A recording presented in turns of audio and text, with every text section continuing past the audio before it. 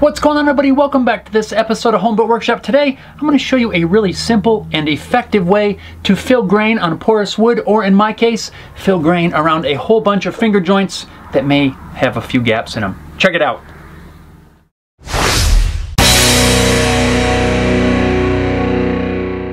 So today I'm working on this keepsake box. This is made with finger joints. There's a whole bunch of them in here. Most of them fit pretty well, but there are a few that have some gaps and spaces in here, and that's what we're gonna address today. If we come in really close, hopefully you can see there are some of these that have some spaces in here. And if I shine a light on here at an angle, it really accentuates the cracks and makes them easier to see. And that's what we're gonna fill. This is really simple to do.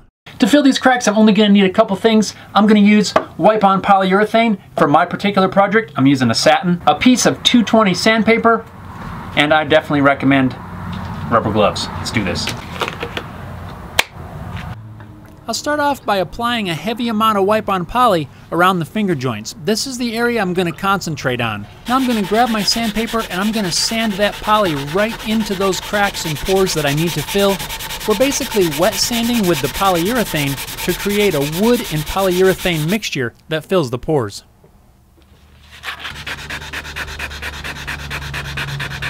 After a little while, you'll start to see those little cracks getting filled in. If I shine that same light across there, you don't see quite the same gap.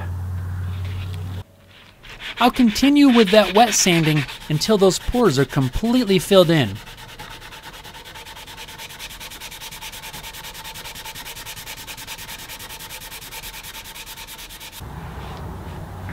See how much better that looks? Now I just need to do it to all the corners.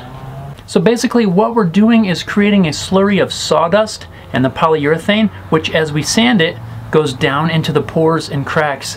And when it dries, it's gonna seal it all up and be nice and hard, and you can continue on with your normal finishing. So thanks a lot for watching this video, guys. I hope you enjoyed it. If you did, go ahead and give it a big old thumbs up. I really appreciate it. Also, if you enjoyed this, I have a lot of other content on my channel. Make sure you click that subscribe button and ring the notification bell so that you get notified when I upload new videos. Thanks a lot for watching, guys. Don't forget to check the video description for other links you may be interested in. We'll see you next time.